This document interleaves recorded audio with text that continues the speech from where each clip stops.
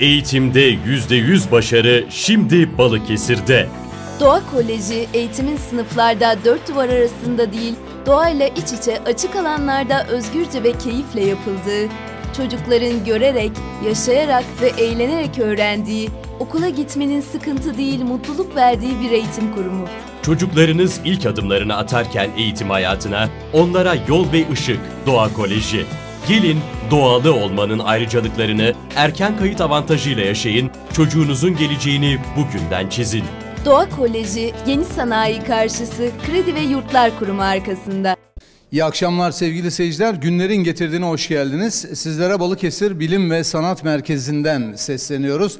Sevgili seyirciler, burada e, uzun bir süredir e, güzel çalışmaların, ileriye dönük güzel çalışmaların yapıldığını biliyoruz ve bugün e, burada e, neler yapıldığıyla ilgili geniş şekilde bilgi alacağız. Öncelikle e, Bilim ve Sanat Merkezi Müdürü Muzaffer Çakır'dan e, biraz bilgi alalım istiyoruz. Burası nedir? E, nasıl bir faaliyet e, sergileniyor burada? Oradan bir başlayalım. Buyurun. Evet. Bilim ve Sanat Merkezi e, 2010-2011 eğitim öğretim yılında açıldı. Evet. Üstün yetenekli ve üstün zekalı öğrencilere eğitim veren bir özel eğitim kurumudur. E, özel Eğitim Genel Müdürlüğü'ne bağlı Bakanlığımızın Özel Eğitim Genel Müdürlüğü'ne bağlı resmi bir eğitim kurumudur burası. Evet. Şimdi üstün yetenekli öğrencileri bir yıl boyunca sınavlarla belirleyerek buraya seçiyoruz. Ardından okullarının dışında kalan zamanlarda burada e, kabiliyetleri doğrultusunda eğitim alıyor. Bunlar e, kabiliyetleri neyse, atıyorum fiziğe ilgisi varsa veya müziğe ilgisi varsa veya resme ilgisi varsa okulun dışında kalan zamanda buraya gelip özel eğitim almış oluyor. Evet. Peki buraya e, nasıl öğrenci alınıyor? Nasıl seçiliyor? Her gelen buraya çocuğunu getirebiliyor mu gibi biraz teknik bilgiler alalım isterseniz. Şimdi Bilim Sanat Merkezi'ne öğrenci seçimi her yıl Ekim ayında başlıyor. Ee, bu bakanlığın e, belirlediği sınıf seviyesinden oluyor. Bu bu sene dördüncü sınıf seviyesinde eğitim e, sınava aldık. Beşinci sınıfta bize eğitim öğretime gelecekler. Bu sınava aldığımız öğrencileri bir grup taramadan geçiriyoruz. iki bireysel teke tek sınava alıyoruz.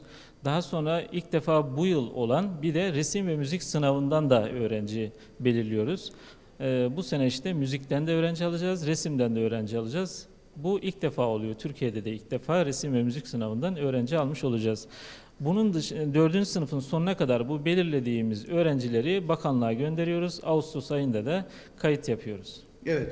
Peki şimdi e, bütün bu e, çalışmalar normal e, eğitim öğretim e, zamanlarında yapılıyor. Yani e, Evet. öbür okulların açık olduğu zamanlarda yapılıyor. Tabii değil mi? okulların açık Evet. olduğu zaman da. Mesela çocuk sabahçıysa okuluna sabah gidiyor. Saat bir buçukta öğlen bize geliyor. Evet. Diyelim öğrenci ise çocuk öğlen bir buçukta e, okuluna gidiyorsa sabah bize sekizde geliyor. Yok tam günse ve ilçelerden geliyorsa atıyorum Ayvalık'tan, Dursunbey'den, Bandırma'dan geliyorsa bunlar da dört buçukta e, buraya geliyorlar. Akşam yedi buçuğa kadar eğitim görmüş oluyorlar. Evet.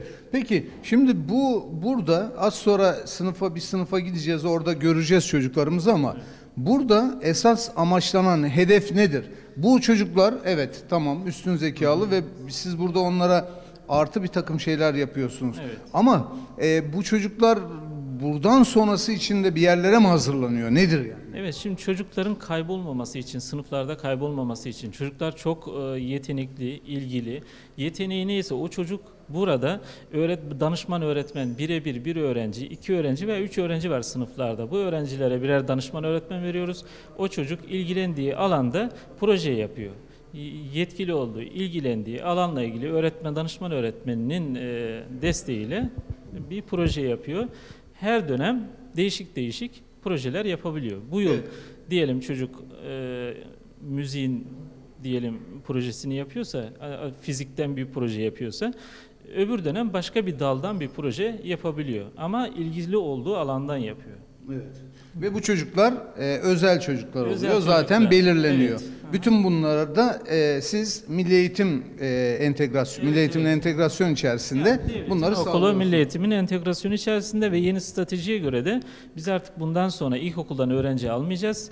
Ortaokulda bize gelecek. 8'de biz lise sona kadar burada eğitim veriyoruz şu anki koşullarda ama yeni strateji belgesine göre e, lisedeki öğrenciler daha çok buradan değil de üniversiteden e, ders almaya başlayacaklar. Yani yeni e, hazırlık bu yönde.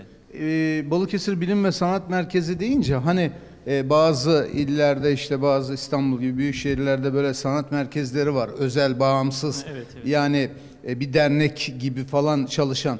Bu öyle bir yer değil. Burası tamamen Milli Eğitim'in Devletin kontrolünde kurumu. bir yer. Evet. Öğretmenleri devletin, milli eğitime bağlı öğretmenler, okul öyle. Aynı bildiğin Denetimi falan hepsi Milli Eğitim tarafından yapılıyor. her şey öyle evet. Milli Eğitim'in yani. Peki çok teşekkür ediyorum. Şimdi bir sınıfa geçelim isterseniz. Evet sevgili seyirciler bir sınıftayız şimdi. Hocamız var. Önce hocamızı tanıyalım. Sizi bir tanıyalım. İsmim Ayşe Gümüş, tarih öğretmeniyim.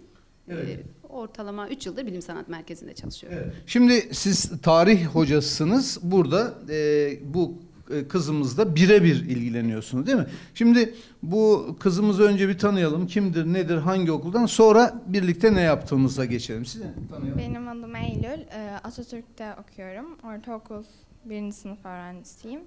Ee, Burada işte tarih dersinden proje eğitimi alıyorum. Evet. Ortaokul bir derken yani 6. sınıfta mısın? 6. sınıfım ama 7'ye gitmem gerekiyor geç başladığım için. Öyle mi? Peki. Ne- neden geç başladın? Onu annemlere sorun.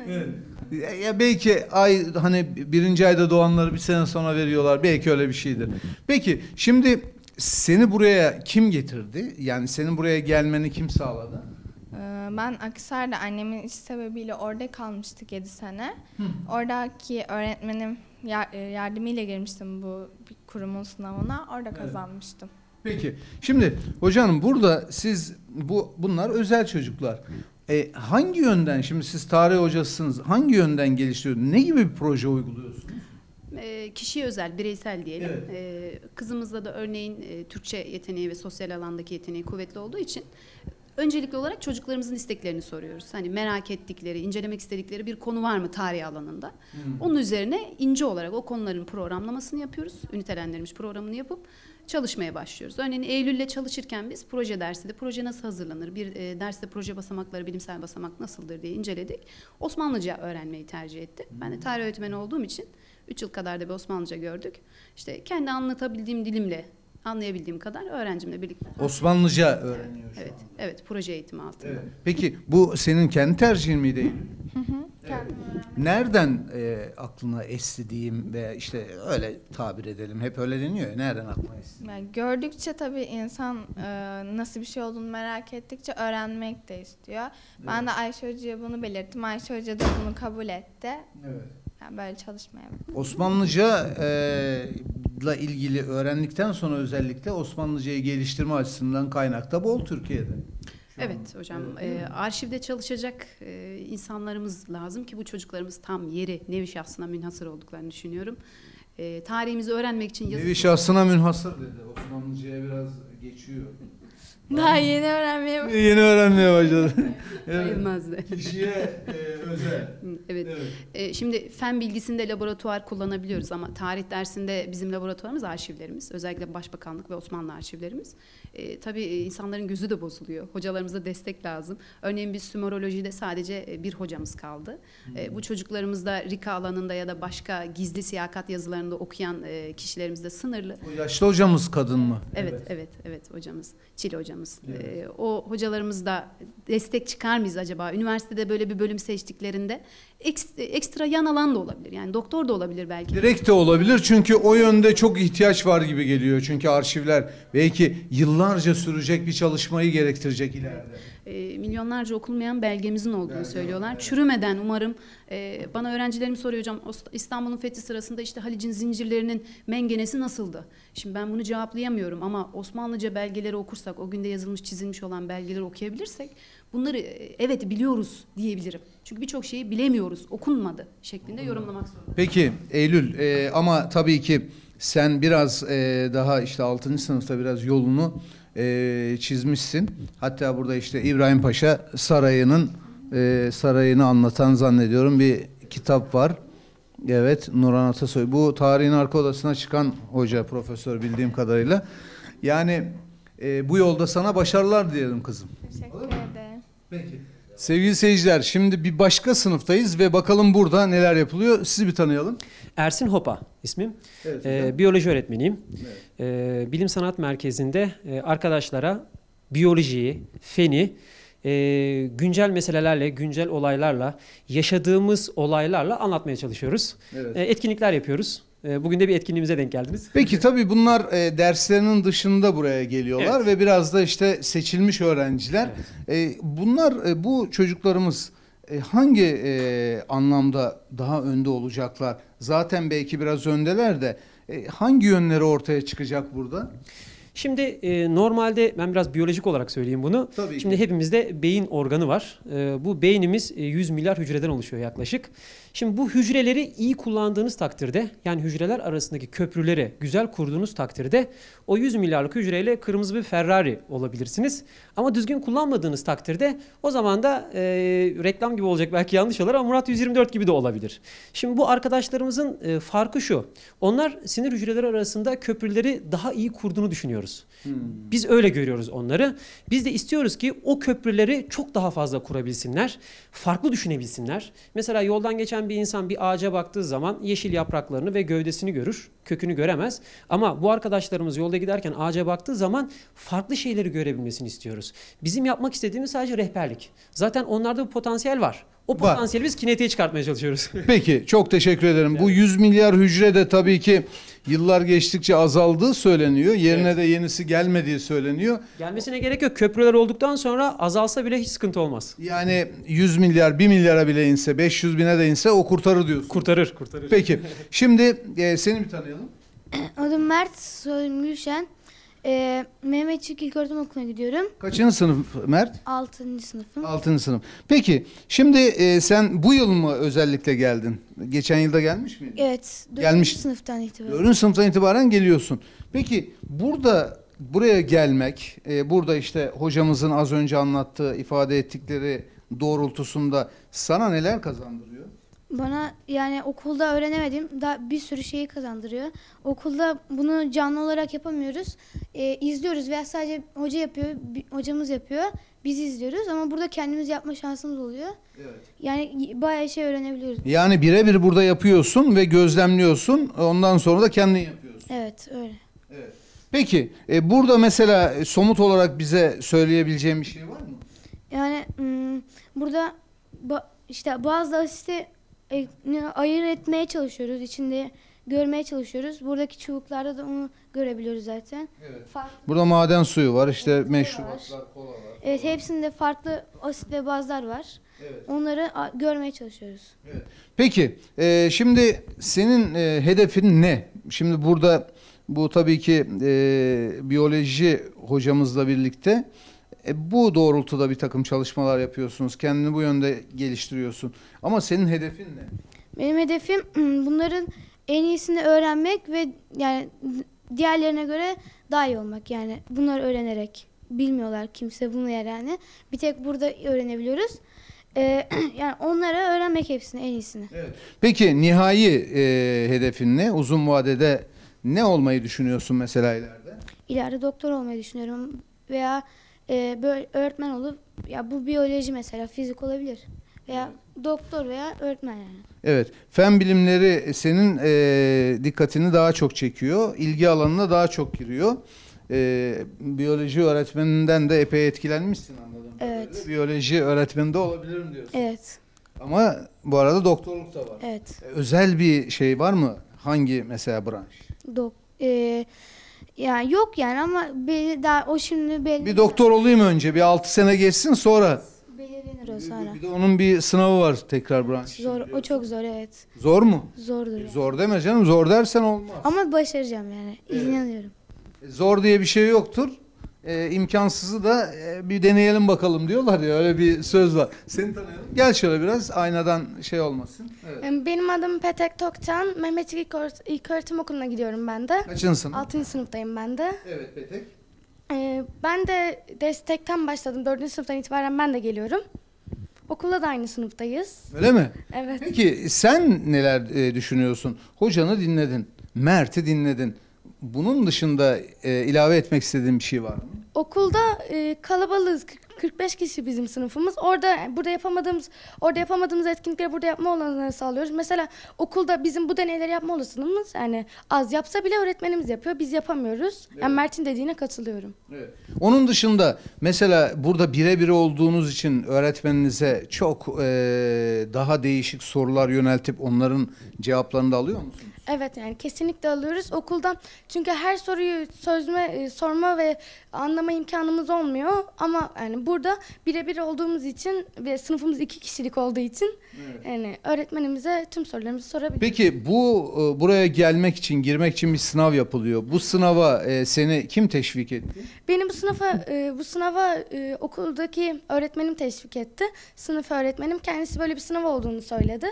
Bizleri e, başvurmaz, e, başvurmak için söyledi. Biz de katıldık ve kazandık. Hocam, e, müdür beyimize bir şey soracağım. Şimdi bu e, sınavlar e, belli dönemlerde yapılıyor tabii. Bütün okulların haberi oluyor Tabii, tüm ve bütün öğrencilere açık değil mi bu? Yani Şimdi öğretmenin e, desteği önemli. Öğretmen yönlendiriyorsa ancak öyle. Öğrenci kendisi birebir başvuramıyor. Başvur. Öğretmenin burada şeyi Öğretmenin önemli. yönlendirmesi önemli. Öğretmen diyor ki sen bu sınava girebilirsin, girmelisin diyor. Öyle geliyor. Evet ve e, sınıf sınıf, dördüncü sınıf, beşinci sınıf, Bu altıncı sınıf. Bundan Evet. sonra hep dördüncü sınıftan hep dördüncü sınıfta Hep dörtten olacak. Evet. Sınavlar dörtten itibaren alacak. Evet, bakanlık Peki, bunu standarda bağladı. İlk öğretim bitinceye kadar devam. Evet. E, liseden Lisede devam. Lisede Son devam mı? sınıfa kadar. Evet, Son üniversiteye kadar buraya gelebiliyor. yani. Peki ben Pete'ye bir şey soracağım. Aynen Mert'e sorduğum gibi. Sen ne düşünüyorsun ileride?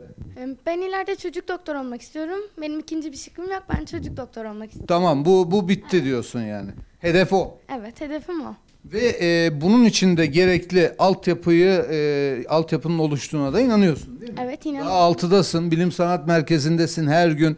E, kendini e, bunun dışında ben ileride çocuk doktor olacağım ama işte tıpa gireceğim, şunu yapacağım, bunu yapacağım diye e, sürekli hazırlıyor musun kendini? Ben biyolojiyi seviyorum ilk başta onu söyleyeyim. Evet. Yani tıpa da yani çocukluğumdan beri ilgi duyuyorum e, küçük yaşlardan itibaren. Bilim sanatında buna bana çok katkısı olacağını düşünüyorum. Size çok teşekkür ediyorum. Başarılar diliyorum. Kolay gelsin diyorum. Teşekkür ederiz. Sağ ol. Sevgili seyirciler yine bir sınıftayız ve e, hocamızla öğrencimiz birlikteler. Sizi tanıyalım. İsmim Hilal Karakış, Bilişim Teknolojileri öğretmeniyim. Evet. Öğrencimizle birliktesiniz. Evet, öğrencim, proje öğrencim. Küçük çaplı bir e, üç boyutlu tasarım yarışması yap- yapıyoruz. Onun için Anıtkabir'i yapmıştı. Eksiklerini tamamlıyoruz bir taraftan. Evet. Peki bir tanıyalım öğrencimizi. Benim adım Fazıl Atak, Balıkesir Bilim Sanat Merkezi BYF öğrencisiyim. BYF ne demek? Bireysel yetenekleri fark ettirme. Tamam. Peki e, hangi okul? Kaçıncı sınıf? Ali Hikmet Paşa İlköğretim Okulu 6. sınıf öğrencisiyim. Altıncı sınıf. Maşallah altıncı sınıfsın ama neredeyse lise 1 gibi görünüyorsun. Yani e, görüntüm o şekilde. Peki şimdi burada e, bu kardeşimizi e, okul dışında buraya geliyor ve onu o ayrıcalığını, farklılığını geliştirmeye çalışıyorsunuz. Onda olan o yeteneği değil mi? E, doğru telaffuz ettik. Evet, evet, aynen öyle. Zaten eğilimi ve yeteneği olan bir öğrenci. Onunla sene başında oturup e, hangi yönde ilerlemek istediğini konuşuyoruz ve ona göre bir plan yapıyoruz. Daha sonra yaptığımız plan doğrultusunda işte katılacağımız proje yarışmalarını ya da katılacağımız e, seminerleri, konferansları belirledikten sonra dersimizi işlemeye devam ediyoruz. Bu arkadaki maketi de Fazıl yaptı. Evet. Onu bir gösterebilir miyiz Fazıl? Evet. Bu bu maketi sen yaptın öyle mi? Evet. Şimdi Neden yaptığını da anlat akvaryum. istersen. Efendim? Neden yaptığını da anlat. Neden yaptığını gel böyle anlat istersen. Şöyle yaklaş. Onu da Hakan abin şöyle yap. Hakan abin görüntülesin. Evet. Bizim projemizin adı elektronik atıkların geri dönüşümüydü. Evet. Geri dönüştürebileceğini göstermek amacıyla e, eski bir monitörden bir akvaryum yaptık. Evet. Çok eee, çok da güzel bir akvaryum olmuş. Bizler de evimize böyle bir akvaryum koyabiliriz. Evet. Yani seri üretime bile geçebilirsin Fazıl. E, yapılırsa geçilir tabii. Evet peki çok güzel olmuş. Peki senin e, amacın ne? Tabii ki bu bilişim alanında mutlaka ilerlemek istiyorsun. Hedefin ne? Hedefim web sayfası tasarlayabilecek kadar ilerlemek. Evet. Yani bu konuda önce bir eğitim tabii ki. Evet. Web sayfası e, tasarlayacak. Çok zor bir olay mı? Yok zor değil ama ilk önce çizgi film tasarlama yapmaya başladık onunla. Evet. Ee, seneye devam ederse inşallah web tasarımını yapar hale gelecektir. Bu, e, Yani önümüzdeki yıl web tasa, web e, tasarımını yapan hale gelirse e, 10 sene sonra ne olacak? Bilmiyorum bu göreceğiz bekleyip. Bunu yapan öğrencilerimiz var. Şu anda var. E, bir üst sınıfta bir öğrencimiz var. Programlama dilleri de öğreniyor. Aynı zamanda web tasarımı da yapıyor. Peki bu e, çocuklarımız yetenekli ve bu yeteneklerinin daha da geliştirilmesi amacıyla bu. Birebir oluyor. Burada yani bu çok önemli. Her öğrenciyle birebir ilgileniliyor. E, ne kadar sürüyor burada bu? Bizim fazla dersimiz iki hafta, iki saat, haftada iki saat. İki Başka dersler de alıyor tabii. En kalabalık grubum üç kişi benim. Ee, bir sonraki grup mesela. Onun dışında böyle bireysel çalışıyoruz. Peki fazla bir şey söylemek ister misin? Yok. Ben e, değişik alternatifler e, sunmaya ve bunları geliştirmeye devam edeceğim diyorsun. Evet. Peki. Çok teşekkür ediyorum sana. Evet hocam e, sizinle konuştuk. Siz anlattınız e, burasının durumunu ve öğrencilerimizle de konuştuk. Şimdi burada e, kaç öğrencimiz var? Bir daha sonunda bir kez daha tekrarlayalım ve önümüzdeki yıla yönelik e, buradan velilere, e, öğretmenlere, ailelere seslenelim. Ve yarın akşamda bir etkinliğiniz var ondan da bahsedelim. Buyurun. Şimdi burada bizim 142 tane öğrencimiz var devamlı. Balıkesir'in tüm sınırları içerisinden Ayvalık'tan Dursunbey'e kadar olan ilçelerinde dahil olduğu 142 öğrenci geliyor buraya. Şimdi e, biz Bilim ve Sanat Merkezi ismimiz sanat kısmını yarın gerçekleştireceğiz. Yani müzik ve şiir dinletisi kısmını. Bilim kısmını ise e, 22 Mayıs'ta Karase AVM'de yapılan etkinlikleri, projeleri orada sergilemiş olduk. Buraya öğrenci göndermek isteyen velilere şunu söyleyebiliriz. Eylül-Ekim aylarında e, bizim sitemizi takip etmeleri ve okullardaki öğretmenleriyle irtibat içerisinde olmaları çok büyük önem arz ediyor. Evet. Peki e, size çok teşekkür ediyoruz. Böylesi çocuklara ihtiyacımız var. Çünkü bu çocuklar ileride e, çok çok e, ülke bazında belki dünya e, bazında Evet. e, işlere imza atacaklar. Evet. Buradan gelen çocuklar olacak bunlar. Evet. E, çünkü Türkiye'nin birçok yerinde böylesi çocuklar vardır ama bizim Balıkesir'de de böylesi bir çocukların olduğu bir merkezimiz var.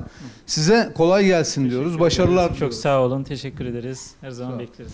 Sevgili seyirciler böylelikle bugünkü programımızın sonuna geldik. Sizlerle tekrar birlikte oluncaya dek hepinize iyi akşamlar diyorum efendim. Hoşçakalın.